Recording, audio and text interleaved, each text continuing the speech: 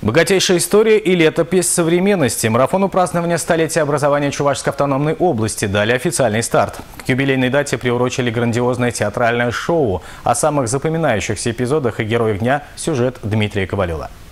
Ледовый дворец преобразили яркие тона. Для фотосессий девушки в стилизованных национальных костюмах. На арене уникальные декорации. Спецэффекты завораживают взгляд. На старте культурного марафона и парад муниципалитетов.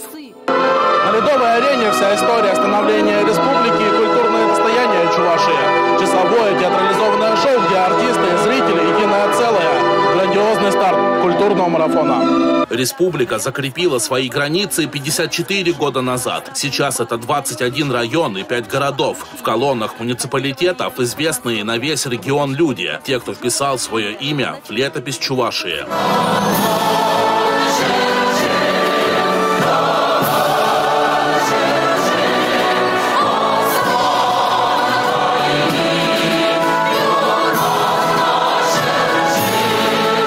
Слоган юбилейного марафона «Перле», что в переводе с чувашского языка «вместе». Только объединив усилия, можно преодолеть любые трудности, отметил временно исполняющий обязанности главы региона. В послевоенные годы в республике были возведены крупные заводы, построена Чебоксарская ГЭС. В основу сюжетной линии театрализованного шоу легли и другие вехи истории, отправной точкой которой стала 24 июня 1920 когда декретом ЦИК и Совнарком дома была образована чувашская автономия некий элемент гордости и э, гордости тем, что мы являемся одной большой семьей.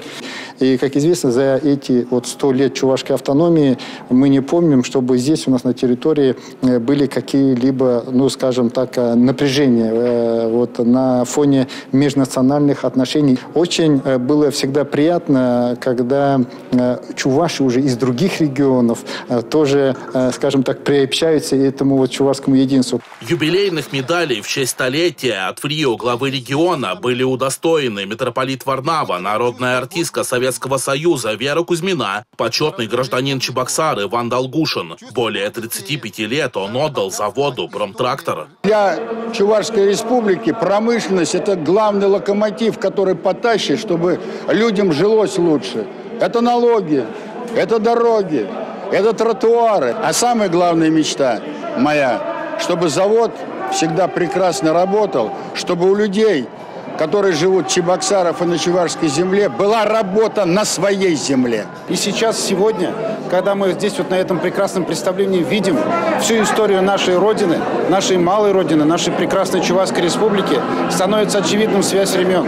От масштабного театрализованного представления захватывало дух, говорят участники праздника. Почетные места отвели для ветеранов, я для нашего поколения, будущего поколения, меня душа радовалась, потому что я знаю, э, теперь знаю, что наши внуки нас не подведут. Задача сегодня – это объединить людей, которые проживают в разных, в разных уголках нашей большой страны, для того, чтобы это был действительно э, общенародный праздник для того, чтобы это был следующий скачок, следующий толчок для нашей будущей истории, для наших детей. И все таланты, которые проживают на территории нашей республики, они были реализованы. И впереди масштабный праздничный марафон, который будет длиться весь год. Дмитрий Ковалев, Игорь Зверев, Павел Редков, Андрей Шоклев и Бахтияр Велиев. Республика.